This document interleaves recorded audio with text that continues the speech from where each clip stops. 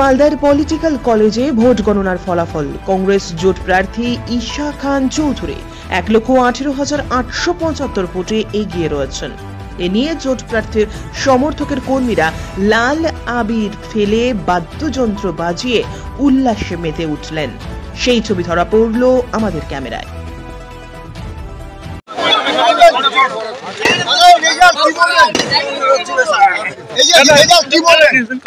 আমরা খুব খুশি, আমার ধন্যবাদ জানাই মালদা এবং আমাদের ফারাক্কা শামসেরগঞ্জের মানুষদেরকে যেভাবে দুয়া আশীর্বাদ দিয়েছিল আমাদেরকে, সেটা আমাদের এক্সপেকটেশন এরকম একটা ছিল যে আমরা এক নম্বর পজিশন আছি। কেন?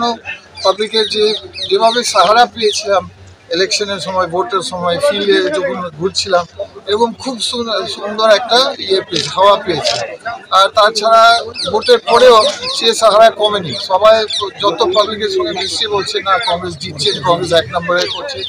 এবং সবসময় আমাদের মনে রাখতে হবে, দুজনের নাম গোপাল গনি খান সাহেব, আমার জেঠু, উনি আমাদের যে ইন্টারাকশন দিয়েছে রাজনীতিকে, আর আমার বাবা যে চারবার সাংসদ ছিলেন মালদাতে, উনিও আসবেন কিছুদিনের মধ্যে।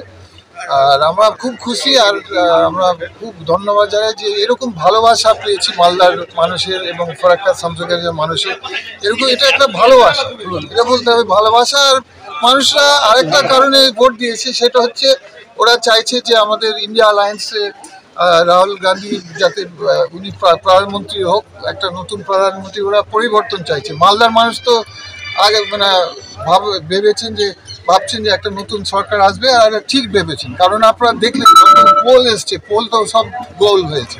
পোলের গোলমাল আর পোলের দিয়েছে আমাকে এক, আমাদেরকে ইন্ডিয়া অ্যালায়েন্সকে একশো তিরিশ, একশো চল্লিশ, আমরা পাচ্ছি দুশো তিরিশ অভাব যদি কোনো অ্যালায়েন্স পার্টি সরে যায় বিজেপির কাছে আমাদের সরকার হয়ে যেতে পারে।